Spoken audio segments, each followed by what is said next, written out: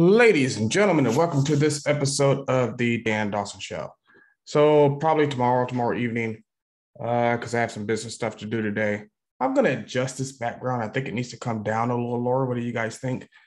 Um, I want to talk to you about Tim Pool getting swatted uh, and Marjorie Taylor Greene receiving death threats. But this should be no surprise to any of us.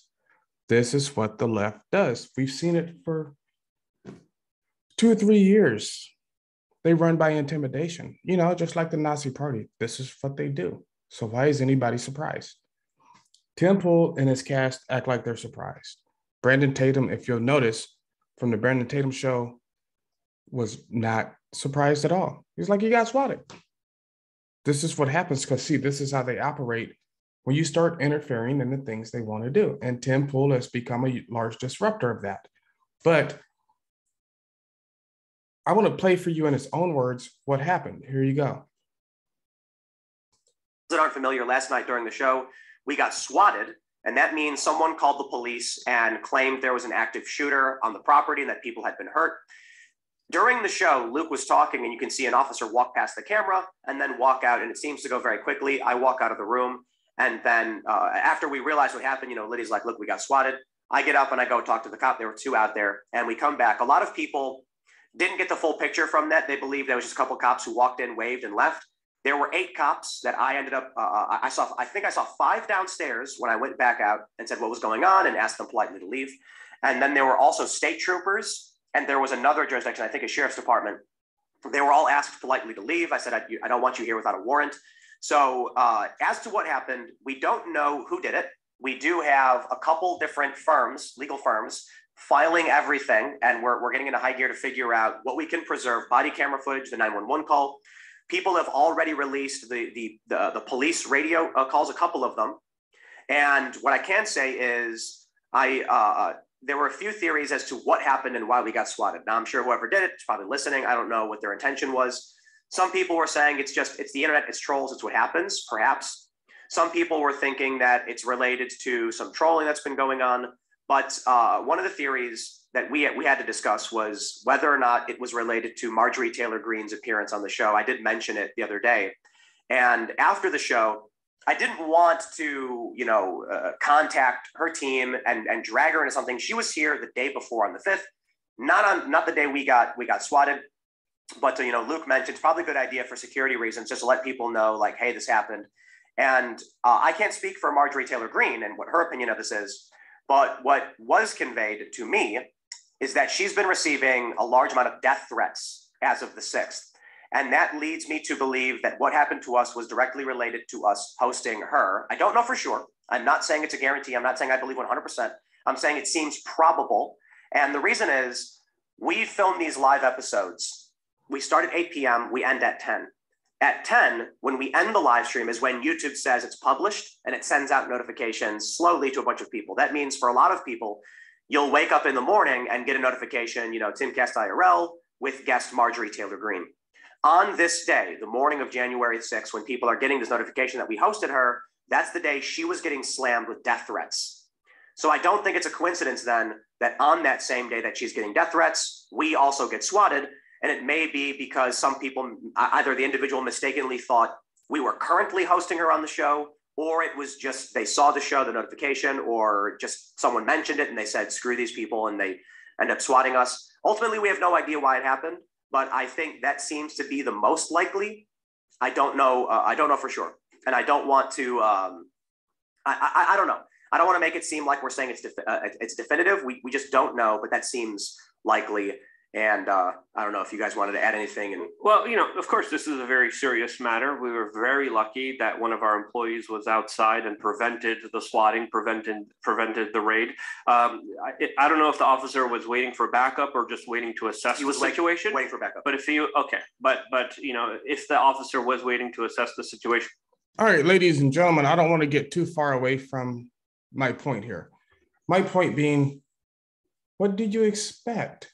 When you're going to war with leftists. This is what happens. This is what they do. They come off all aggressive, blah, blah, blah, and they'll send you threats and they'll threaten to show up. They'll show up at your house. But the minute you defend yourself, your family, your loved ones, then they cry baby. Oh my God, this is what happened. AOC does it all the time. Rashida Tlaib does it. This is what the leftists do. You saw it with BLM. You saw it with BLM. They've killed 30 something people. Let three of them get shot by a 17 year old defending himself. It's like, oh my God, this is the worst thing ever. They burnt down cities. They attacked federal buildings. They attacked federal courthouses. They attacked the White House. They burned down the church outside of the White House, or tried to at least. And then you hit back. Oh my God, it's horrible. It's the worst thing ever. This is what they do. Why is anybody surprised? I guarantee you, Marjorie Taylor Greene receiving death threats is not a surprise to her or anybody else. This is what they do. They want to be all aggressive. Then when you smack them in the mouth like you should, they whine and cry like bitches and babies, and CNN and MSNBC cover up for them. This is what they do. This is what they do. It happens all the time. You guys go back to the Dan Dawson Show Facebook page and watch the receipts I give and watch how I come off. And as soon as I started hitting back on people who were hitting on me, calling me motherfucker and you're being disrespect and they were being disrespectful and fuck you and this and that. As soon as I started hitting back, I get a call from a mutual friend. And she's like, You can't talk like that to my aunt. Like your aunt started it. Don't start something you can't finish. That's what my daddy always told me. That's what my grandpa told me. Don't start something you can't finish. But that's what they do. See, and then they go and whine in their corner. So I have no doubts Marjorie Taylor Greene has been receiving death threats because this is what they do and they face no repercussions for it because they have the mainstream media, the, the Joy Behars, the Whoopi Goldbergs, the Don Lemons, formerly Andrew Col- or uh, Andrew Cuomo, right? the um, Joy-Ann Reids defending them, and nobody's willing to do anything. Well, people get to a certain point, you're going to do something. This is ridiculous. So do something. Hey, you know what? You show up at my house. I've already said I live in Texas. God bless Texas. Sit right there. Oops, there you go. God bless Texas. Show up on my front lawn if you want to. when that AR 15 finishes speaking with that 50 round drum, you're going to wish you hadn't. I'm not taking any, I'm not taking any shorts from anybody, but they do stuff like this swatting. Three, what, three, four years now, they've been burning down American cities.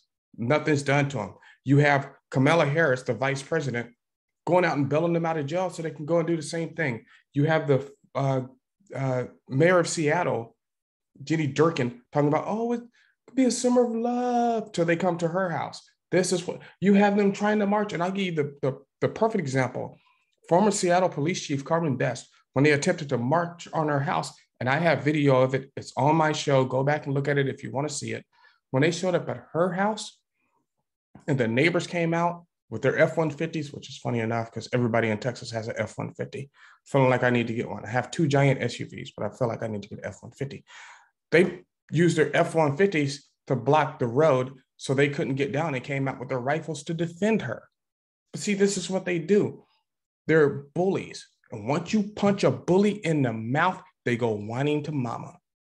And now it's, it's honestly at the point to where maybe we have to punch these bullies in the mouth. Maybe that's what has to happen. These bullies need to be punched in the mouth. Maybe they're not getting punched in the mouth enough. But it's hard because you have you have the mainstream media, you have the Democratic Party looking out for them. And they're going to protect them. Yeah, Kamala Harris is going to bail people out of jail. Hell, look, um, Cori Bush and, and uh, AOC want to shut down Rikers Island and let all the violent offenders out. That's cool as long as they stay in New York. You come to Texas, you can end up in a pine box. I'm telling you now. Um, you want to know what Texas is like? You might want to, as my sister um, Vanessa says, you might want to watch 1883. It's not going to be a fun time, motherfucker. But, and also don't put chili or don't put beans in chili. But this is what they do. I don't understand why anybody on the Tim Pool show is is is is surprised. Why are you surprised? This is what they do. I wouldn't be surprised if I got swatted right now. Because what they do, like I said, you can go on the Dan Dawson Show Facebook page and you can see what happened. It's like I'm trying to be respectful. I'm trying to be nice. I'm trying to present facts. And then you get to calling me motherfuckers and fuck you and fuck that. Well, you know what? I'm gonna give as good as I get. That's what how was brought up. You throw a haymaker, hey, I'm gonna throw two haymakers. It is what it is. It's, it's, it's like in casino. I've said this in a video before. Hey, you beat me with your fist, I'm coming back with a bat. You beat me with a bat, I'm coming back with a knife. You beat me with a knife, I'm coming back with a gun. It is what it is. I'm not to stop. And I, I, hope Tim Pool doesn't get discouraged by this and just continues to do what he does because he has a really, oh my God, an amazing show. I urge you all to watch it. Uh, also, Brandon Tatum was on that show, and we don't always agree on everything. My nephew is a police officer, but even from my standard, I think Brandon Tatum kind of goes overboard for cops sometimes. But he has some really good points. He's a very smart man. Hey, go watch him, check it out.